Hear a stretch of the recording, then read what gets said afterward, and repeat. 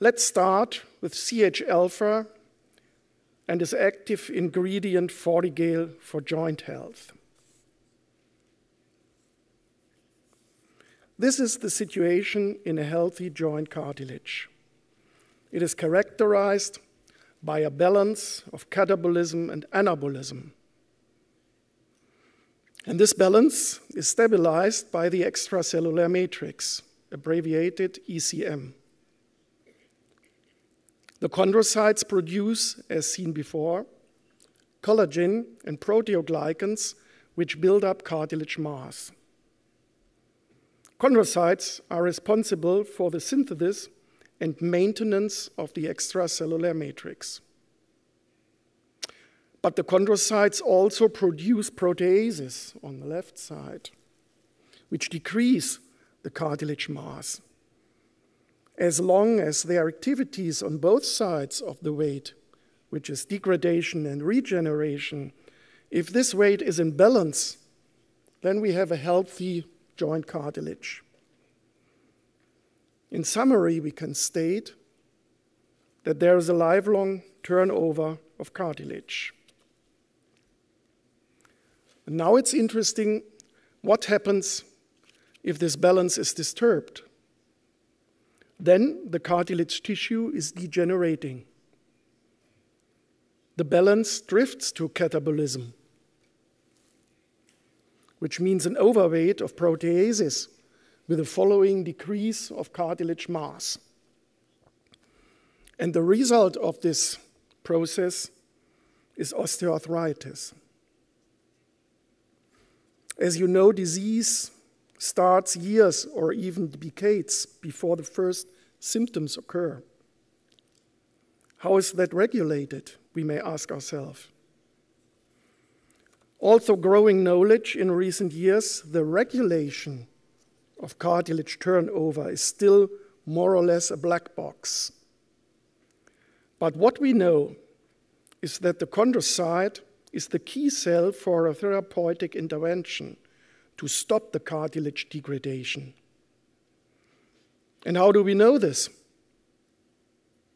We must return the weight to a balance of catabolism and anabolism by stimulating the biosynthesis of collagen and proteoglycans. What we also know in cases that this natural regulation fails, then the consequence will be osteoarthritis.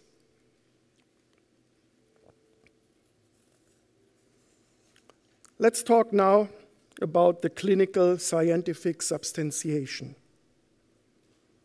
A large series of clinical data exists, and they are all referring to a beneficial effect of Fortigel in patients which are affected by degenerative joint disease.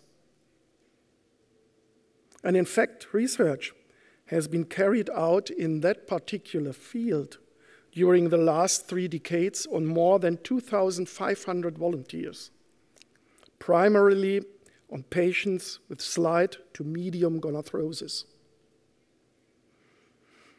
All in all, we have 14 studies. You can imagine a very heterogeneous study design. And in spite of this fact, we have common findings.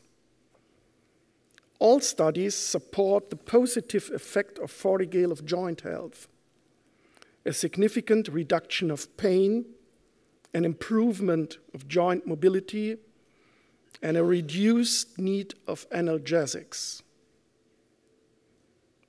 Let's take a look on a couple of studies in the last years.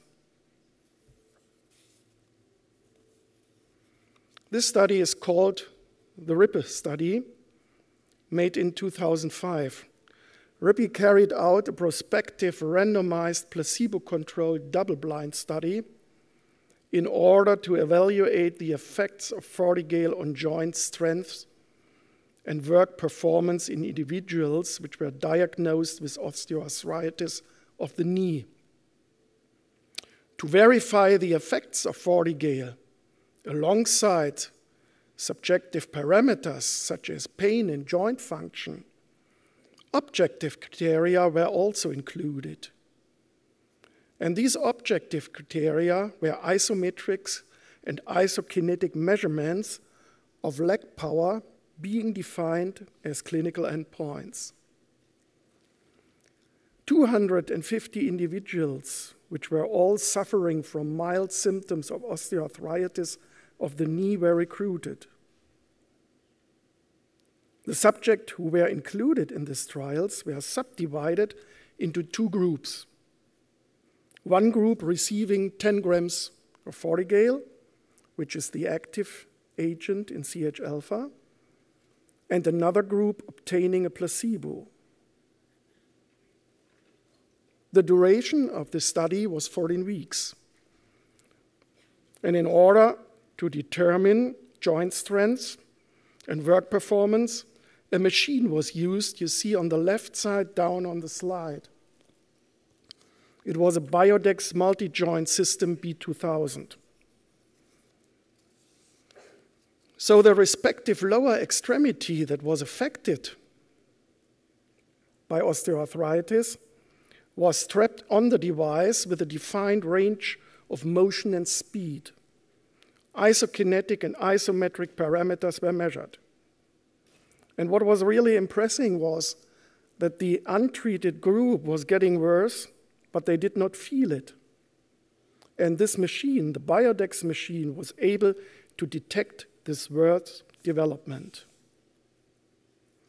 And when Rippe compared the two groups at baseline, after eight weeks and after 14 weeks, the group having been treated with Fortigel, which is the orange color in this slide, showed significant improvement.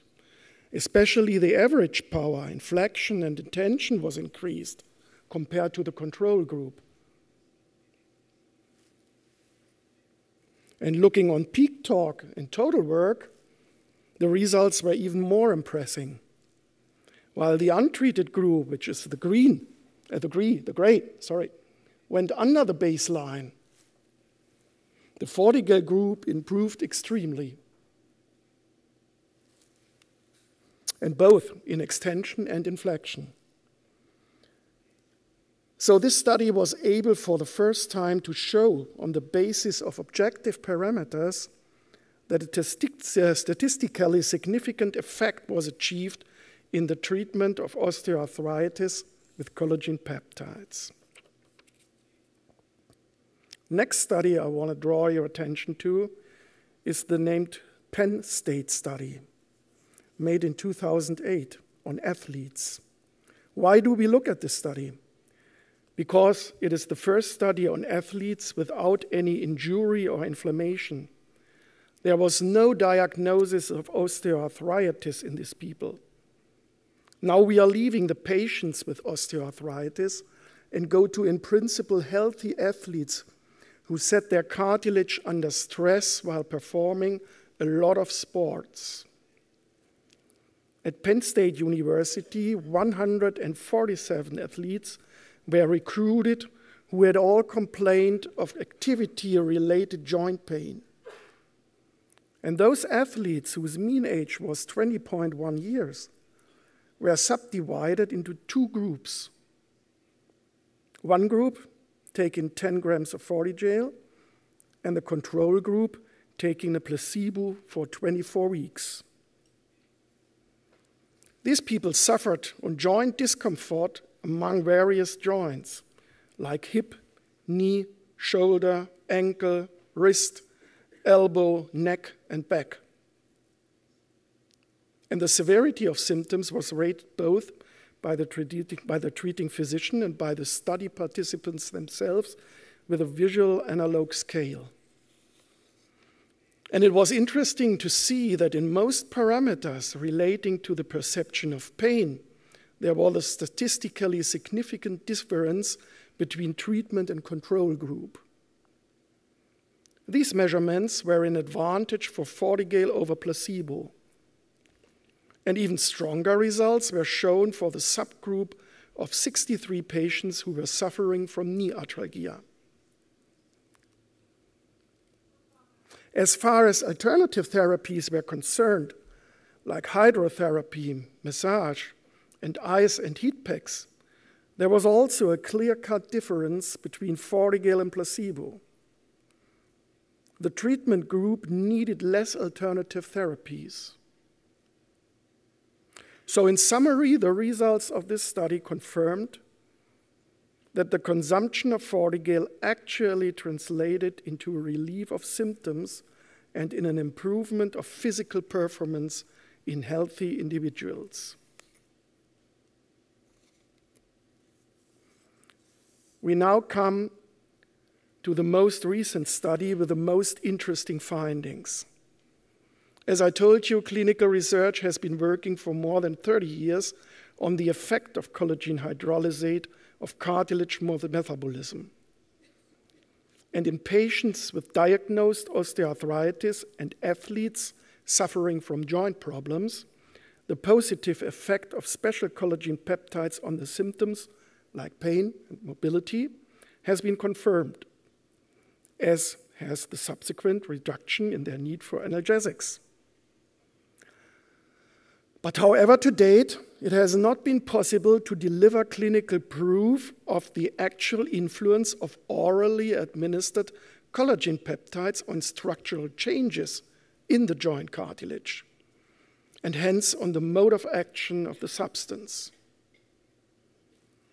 And this particular question was the subject of a study carried out at Harvard University in USA in cooperation with the Tufts Medical Center in Boston. The study carried out by McAlindon was a prospective, randomized, placebo controlled, double blind pilot study on 30 patients suffering from mild gonarthritis. The goal of this study was to identify structural changes in the human joint cartilage by taking Fortigel which is the active agent in CH alpha. The study participants were given a daily dose of 10 grams Fortigel or a placebo over a period of 48 weeks. So, to assess the cartilage quality, a special imaging technique, which is dGEMRIC, was used. This allows the concentration of proteoglycans in cartilage tissue to be quantitatively measured with a high degree of accuracy. The data is transferred into colors, which means high density, green color in the region of cartilage means a lower grade of osteoarthritis, which is a healthier situation. And low density means more red color in the region of cartilage, which is in the end a higher grade of osteoarthritis. And we look at the slide, the upper part is the placebo group. Here we have more red color, which means less proteoglycan content in the cartilage, which is in the end a higher grade of osteoarthritis. And these were different cuts of the same knee over the period of observation. And we see that the cartilage was getting worse. Taken placebo. The basic part is interesting. This is the Fortigel group. Here we have more green color, which means increased proteoglycan content in the cartilage, which is a lower grade of osteoarthritis and in the end, a healthier cartilage. And we see that the cartilage was getting healthier over the time of observation, over the treatment period. And let me highlight to you, in spite of the pilot character of the study and the small number of patients, the results of this study clearly showed that the administration of Fortigel resulted in a positive effect on cartilage structure in the form of a tendential increase in proteoglycan density within the joint cartilage while the untreated placebo group observed for more a year, progressive loss of cartilage substance occurred. The degeneration of the extracellular matrix in the verum group had statistically significant decreased after 24 weeks. So this is the missing link between our preclinical findings translated into the clinical findings. Now we know that Fortigel really has a benefit on cartilage. And another topic I want to highlight to you is a recent message from Mexico. Bioactive collagen peptides have been included in the Mexican guidelines for the treatment of osteoarthritis. So these peptides are classified as disease modifying osteoarthritis drugs. And as a conclusion, we can state clinical studies demonstrated that the oral administration of Fortigel has a beneficial effect on cartilage tissue. And common findings were pain reduction, increased mobility, and less need of analgesics. Consequently, the supplementation of CH-alpha, which is effective Fortigel peptides, can contribute to the maintenance of joint health and could help to preserve mobility and quality of life.